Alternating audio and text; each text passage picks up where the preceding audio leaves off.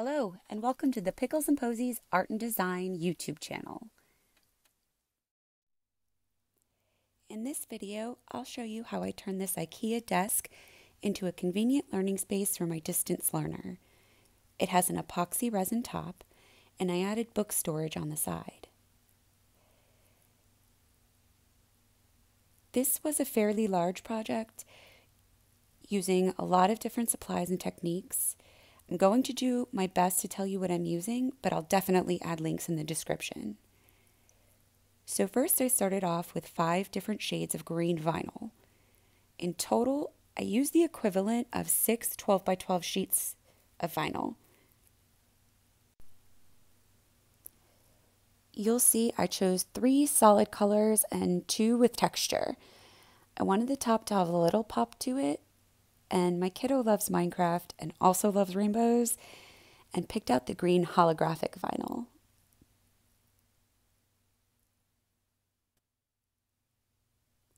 I started by cutting about 78 squares. I only needed 70, but I wanted to have a few extra for mistakes. I marked my ruler to make cutting faster, and each square was about two inches and three quarters.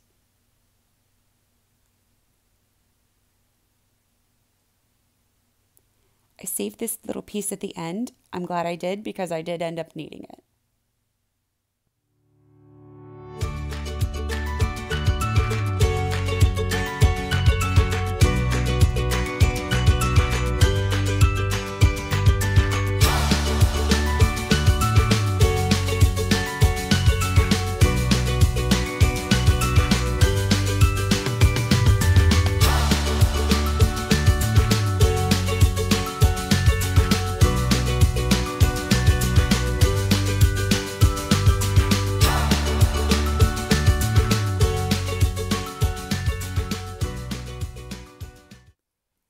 Just peel and stick. I wish I would have added guidelines when I began applying my squares. They didn't always line up, and you'll see some areas where I tried to compensate, but you can't really tell in the end result. And I used an X-Acto knife just to trim around the cord hole thingy.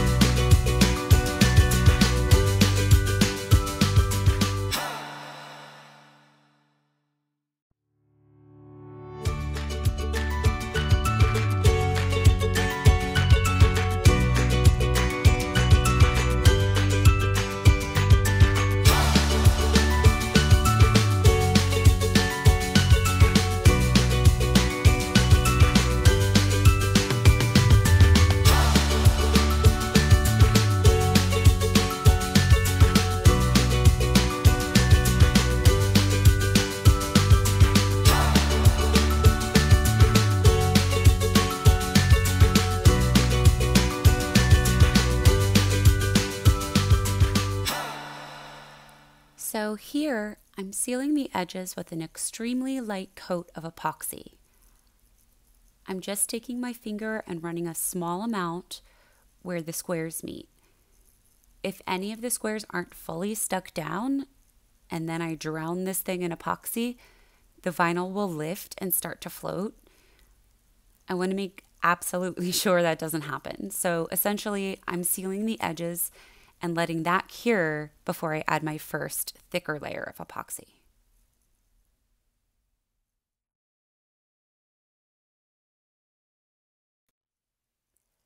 I let that cure overnight. I used painter's tape around the edges of my desk and inside the cord port. I mixed up eight total ounces of epoxy and poured it onto my leveled desk surface. I made it work, but this was not enough epoxy to cover this surface completely. 12 to 16 ounces would have been much better. I did end up doing a second coat with another eight total ounces, and that didn't make anything better, but I rolled with it.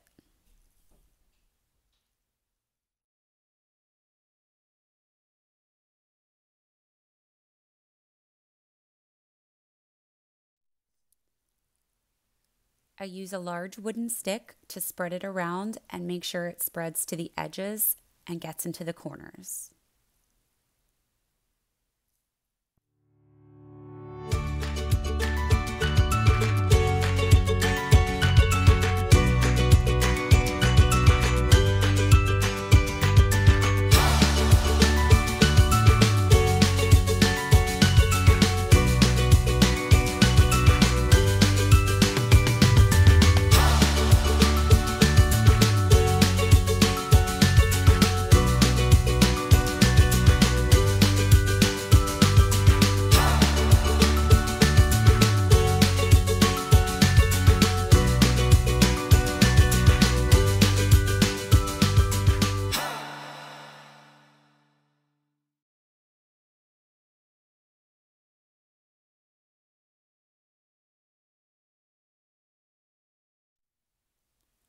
I use a handheld butane torch to remove any air bubbles.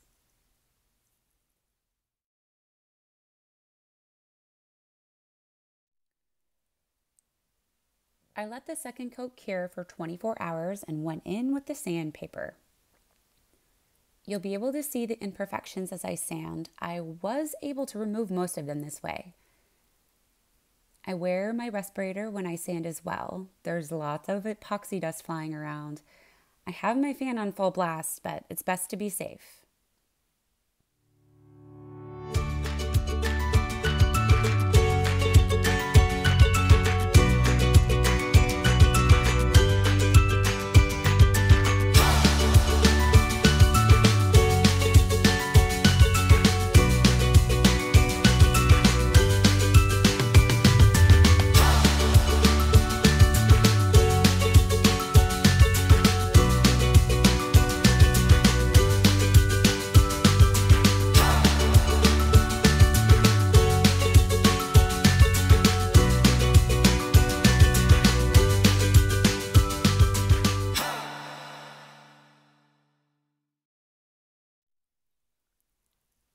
Didn't sand the edges completely down. I left a very small lip to act as a barrier when I pour the final coat.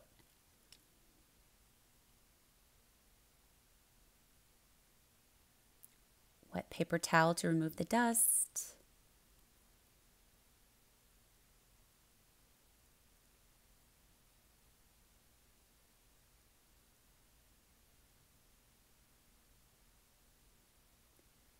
Clean it a couple of times with alcohol.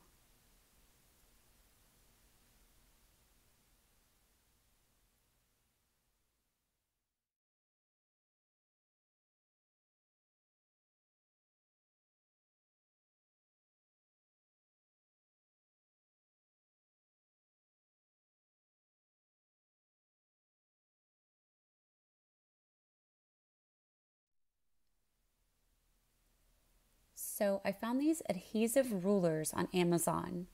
They're meant for like workshops and boats. It has both inches and centimeter, and it sticks right down to the epoxy.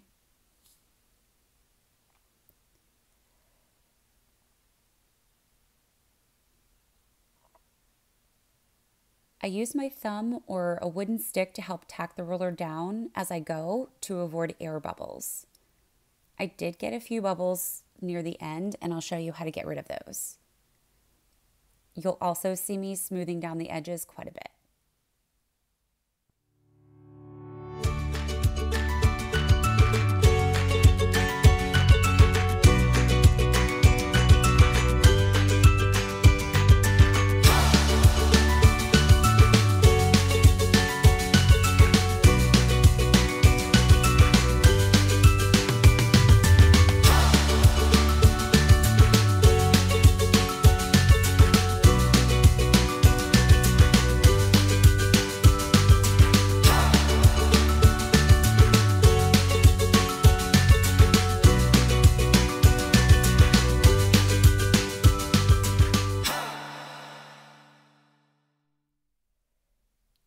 To remove any air bubbles, I use the tip of a razor blade to puncture the vinyl slightly and smooth the area down with my finger or my wooden stick.